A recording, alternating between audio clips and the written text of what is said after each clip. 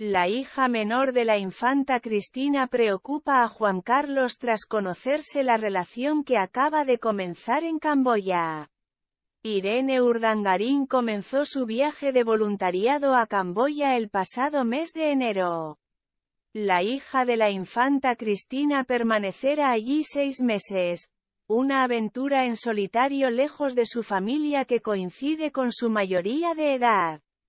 La joven ha sido fotografiada recorriendo en bicicleta los territorios más pobres del país mostrando su compromiso con las labores humanitarias. Pero además, Irene, tiene tiempo para otros temas que nada tienen que ver con el ámbito solidario. Al parecer la hija de Iñaki Urdangarín ha encontrado el amor en uno de sus compañeros voluntarios. La Benjamina de la familia habría comenzado una relación especial lejos de los suyos, un hecho que ha desatado la preocupación de su familia, especialmente del rey emérito Juan Carlos y el monarca estuvo a favor de que su nieta viviera esta etapa en el país asiático, pero con la condición que después comience sus estudios.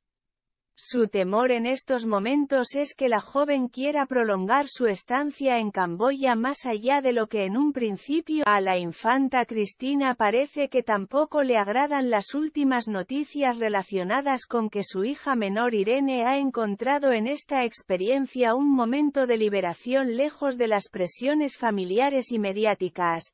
Irene, que completó la etapa de bachillerato el verano pasado, tenía intención después de comenzar estudios de hostelería en la prestigiosa École Hotelier de Lausanne. De hecho realizó dos semanas a prácticas en un hotel, pero finalmente decidió darse un margen antes del inicio de la etapa universitaria. La sobrina de Felipe VI se instaló durante unas semanas en la zarzuela.